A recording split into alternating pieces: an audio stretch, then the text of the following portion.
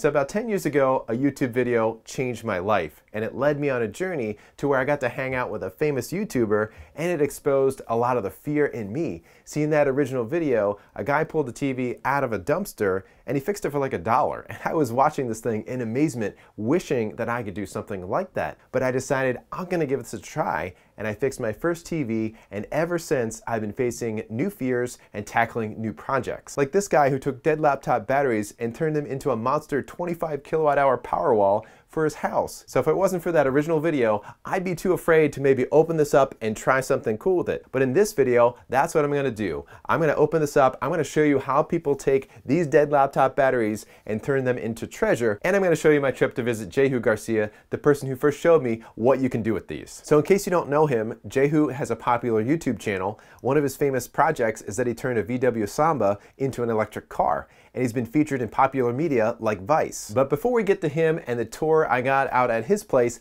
let's talk about these non-functioning laptop batteries. They don't take a charge, so most people throw them away. But some people really want these and they even pay money for them. So what's the secret? The secret is this. This looks like it's one battery, but really there are many batteries inside of here and not all of them are bad. So let's open this up and see what we find inside. This is a battery pack for one of my old laptops and it quit working years ago, so no harm in giving this a try. I've actually never opened one of these up before, but as always, when you're trying something new, go slow and definitely use common sense. So what I'm trying to do is separate the plastic at the seams and break any adhesive, and the main thing I don't want to do is accidentally puncture the cells or cause a short circuit.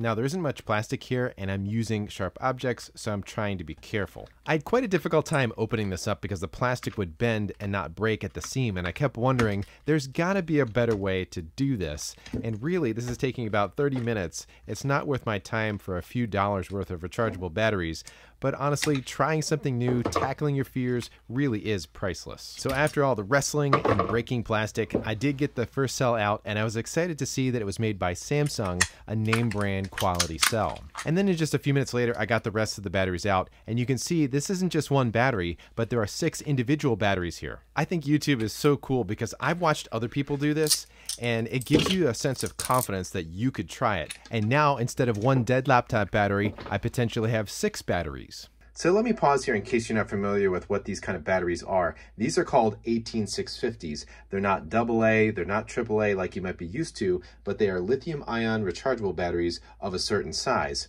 These are very popular and they, even for many years they were used in Tesla cars as their main batteries. Now, you may not have never seen these kind of batteries before, but you have definitely used them.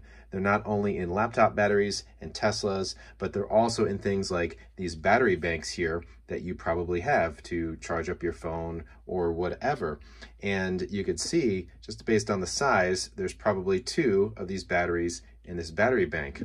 Now over here is a battery bank where I took off the outer shell and you can see what's on the inside. There's one of these 18650s and there's the charging circuitry and the USB connector right there. These things are great to have if you want to put them in your bag or your purse, but they're not going to power very much. So if, say if your house power goes out and you want battery backup, you're going to need a whole lot more. So if you want something that's portable and can power your house, then you want to check out today's sponsor's flagship product, the EcoFlow Delta Pro. This is the EcoFlow Delta Pro, and if you want to be serious about battery backup or power for your home or RV, then this beast may be what you're looking for. This power station on wheels is rugged and sports sports a huge 3600 watt hour lithium iron phosphate battery with a myriad of charging and discharging options and available accessories. To give you a sense of how long this battery lasts on a full charge, it ran my full size refrigerator freezer for our family of seven for over 28 hours without any charging in between. The Delta Pro has a 30 volt standard RV plug in the front, and with an adapter, it can power almost everything in my RV, which has a 50 amp service. You can charge it up by solar up to 1600 watts of input, and you can even combine this with other other charging methods, like the EcoFlow gas generator and at EV stations with an adapter, and you can double your capacity with each additional smart battery. The batteries in here are lithium iron phosphate, which is the same as what electric vehicles are switching to. They're safer, plus they have a longer cycle life. You can connect the Delta Pro to the EcoFlow app with Wi-Fi, and with Bluetooth, and the app will give you about every piece of information you want to know for in and output wattages, as well as change a number of settings. So the Delta Pro is perfect to have on hand for a power outage, or maybe even to use for your RV, campsite, or even a trade show. And it's the hub for an array of accessories and other connected products for the EcoFlow ecosystem. So one quick way to tell the health of each of these six cells is to test their voltage with a multimeter. Now even though these batteries probably haven't been charged for like five years, they still retain electric potential. For these type of 18650 batteries, what I'm looking for are voltages of 3 volts or higher as a good sign of health.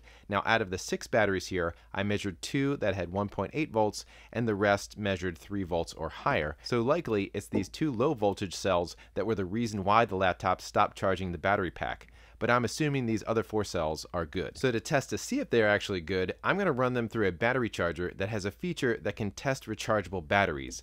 This is a very popular type of charger that can work with many different sizes and types of rechargeable batteries, so it's really handy to have. So what this test mode is going to do is that it's going to try to completely cycle the batteries. It's going to charge them all the way up, then drain the battery all the way down, and then charge it back up again to 100% and when it's finished, not only will I have charged batteries, this will also report the capacity or the energy storage of each battery and their voltage, and I'll have a pretty good idea of their health. Now, because this is my first time and I'm a little concerned, I did keep an eye on these with my thermal imaging camera while they were charging to look for any excessive heat buildup, and thankfully there wasn't any of that and they seemed to be charging normally. And after the tests were completed, I was excited to see that all four batteries had very healthy capacities, around 1700 milliamp hours, and they all held held over 4 volts of charge. People find all kind of uses for these 18650s. They make new battery banks for power backup or new batteries for their e-bikes or other projects. But I'm not planning to do a big project with these now, though I do have a use for them. These LED flashlights made by Gearlight take 18650 batteries. Now you may have seen these before. These came with these lights. This is a holder for three AAA batteries, and notice the size it's about the same size as an 18650. And usually this means when you see this, it usually means you can replace it, drop in a new 18650 like this. And you can do that with these flashlights. They actually give you a plastic holder to keep the battery from rolling around. So this whole project is pretty fun because it's uh, these batteries are completely usable. They hold a good amount of charge, and if not for YouTube, I would have gotten rid of that dead laptop battery, and though I tried to dispose it in the proper way, you know, who knows, it could have ended up in a landfill somewhere. But instead, I have four lithium ion rechargeable batteries for my flashlights and potentially future projects. So I first learned about this idea from YouTuber Jehu Garcia, and when I went out to California recently, I overcame some fear and reached out to him. I kind of felt like I was asking a girl out on a date, was he gonna reject me or not? But he was super cool and said, hey, hang out, and we hung out all day long. So I hope you enjoy this behind the scenes look of a famous YouTuber's workshop and keep an eye out for projects involving 18650s. Sure. I, so here's the thing. I've been wanting to do a tour video for since I did this, but I, since I can't finish it, I'm like, no, I'm like, but this is my shop. This is the power wall that you guys have seen in the video. Uh, I didn't do uh, such a good job as I should have done, but I am going to. This is the next bus that is going to be converted to electric. This is number three. Number three. In the fleet. Nice. Uh, and then this is four. This was a gift. Is going to need a quite a bit more work. I like its remote control up there. Oh no no! This remote is for the sign over here. So this is a VW shop sign because it's going to have, you know, and um, let's see. There we go. Did you make that? Yeah. That's awesome. I'm like, can I get a big giant sign? And it's like, yeah, but they're thousands of dollars, right? So I'm like, oh, I'm not gonna pay thousands of dollars. Like, I'll pay hundreds of dollars. Wow, did you make a YouTube video on that? I didn't.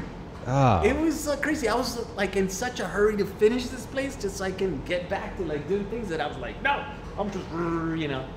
So this is gonna be number four. This is the original Samba right here. This is the one that everybody knows. It's got millions of views on YouTube. Uh, I parked it last year because I was supposed to be restoring it, like basically painting it. But here we are a year later. but you have your you have your other one, so so I built that one so I can daily drive because uh-huh. I'm like I'm not gonna drive a uh-huh. car. But here it is, and then this is Misa's. My brother Misa, he got into this one. And then here's where we're working. We're gonna put two motors. I haven't shown this one actually. It'll be the first one to show it. two motors, so we can have two, two, 200 horsepower on the Sambas. So the fleet is going to have quite a bit of horsepower to be able to sh- drive around without shifting any gears. So all you guys that don't know how to drive stick shift, no problem. They'll be able to drive one of my one of my buses. But they should learn. They should learn. Yeah, why not learn? And these are the batteries that we're gonna put into them. They're gonna be scooter batteries. That's probably gonna be a video that's gonna get quite a bit of views. Scooter batteries. We're gonna put about hundred of these to 140 of these per bus, and it's going to uh, generate about 200 miles of range. Is that is that your electric skateboard? Yeah, it's got like 40 miles of range. And then these are all the motors that are going to go into the fleet. This is 35 systems.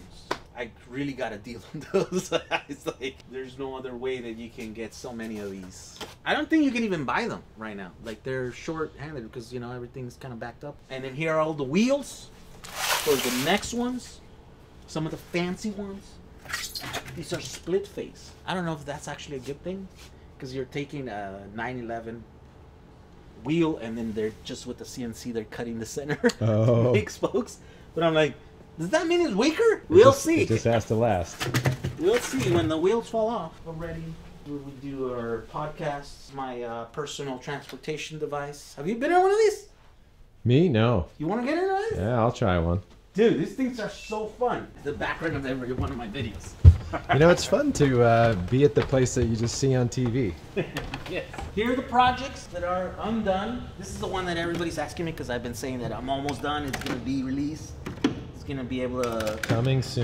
coming soon. It's gonna be a Makita box that you can put a bunch of battery in there, and then you'll be able to have 24 volt battery for whatever you want. This is the seat of a go kart that I'm gonna build because I have a pallet full of those. those. So that scooter that you were riding right now, thousands of those wheels that are available. So I'm like, oh, let's build a go kart. Uh, we're getting into making a bunch of batteries uh, made into these canisters. So that's what those boards Oh, that's cool. and I mean, those boards go everywhere, right? You can make little batteries like this or giant batteries like So this is where the YouTubes happen. This is what yeah, and then people always comment how I'm a big mess. I should clean my desk. It's true. Just show them this part right here. I, yeah. So, Gonna move this out of the I way. should clean. Oh, There we go. We'll mount it right here. so I usually use these to connect to the uh, things here to be able to see if they have a sine wave. Because you know they all say sine wave. Uh-huh. but some cheap ones. And since I was reviewing some of the cheaper ones, like this one, by the way, this I think these people screwed everyone. It's Oh, a perfect that is? example of like the Oh, the crowdfunding thing. crowdfunded, okay, and then a uh-huh. bunch of people paid, and then I think they disappeared. I don't. Huh. As far as they know, they haven't had an update in a while, and I'm like, oh my Oops. god! So because I was kind of reviewing some of these cheaper ones, well, you gotta you gotta test the the output. You know, it's like, is it sine wave or is it just like crappy inverter that you can put? That as soon as you don't test them, then you get a bunch of people in the comments saying like, oh, what's the sine wave? Is it clean? And Uh. I'm like, oh, there are people who have like legitimate concerns, like the radio people. They have like this handheld Oh, groups yeah. of stuff, Uh-huh. and so if they're noisy, they're kind of useless because they can't power their radio. This is my 20 kilowatt hour battery pack that I never finish, and I never shown it just because I'm afraid that um, we don't have the manpower to build all these boards when people start ordering them. I don't want to annoy my viewers. when I know you guys is totally just, you know, because I can't help it. But in this case, I, I can help it. And then, like, there's all kinds of these projects, like this one right here, for example. It's one to use 26 650s. These are lithium iron phosphate. And this is a pack that will do 12 volts. And this is the uh, mega. What'd you call it? Mega dongle? Freaking- Oh. So I actually made a whole, like, You are just not kidding about how many projects So- you're working on. this battery here. Have you, you do have you ever ride a skateboard? Uh, I mean, a little bit. So the thing about skateboard is that it flexes, right? So they need to flex. So whatever battery you put on top from the bottom, if it doesn't flex, then it doesn't feel like a real skateboard. It just feels like some. Mm-hmm. So I'm like, well, we need to make some kind of battery that flexes with the board, Oh, I see. and that's the whole. But I built it. I designed it. I built it, we made these. I think we have like a hundred of these things made already, and I never made the video. So it's a project that's like 99% that all I need is like to make the video. But no visit to Jehu would be complete without a ride in his electric Samba. He took me up into the California hills and we got to enjoy a beautiful sunset. Does this road go all the way up? yeah, I mean, it goes up to a certain point, and after that, it stops. Yeah. That's so cool. Is that your new house up there? Maybe.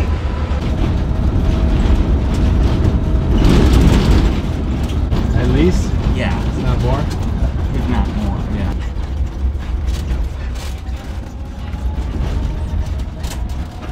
Look at all that smoke. Smoke? Well, the, the, The haze. yeah. I remember I was flying my drone here, and then the guy came out like, "Hey, who's there?" You know. And then he, and then I started talking to him, and then it's like, "Oh yeah, you can come out here anytime you want." You know. he came to yell at me, and at the end, it was like, "Oh yeah, you're cool." Do you ever do you ever do that? I'm a YouTuber. It's okay. no. You didn't play that one. My visit with Jehu was awesome, and it was a reminder that we can face our fears, try new projects, and that things like YouTube and the internet offer so much to help us.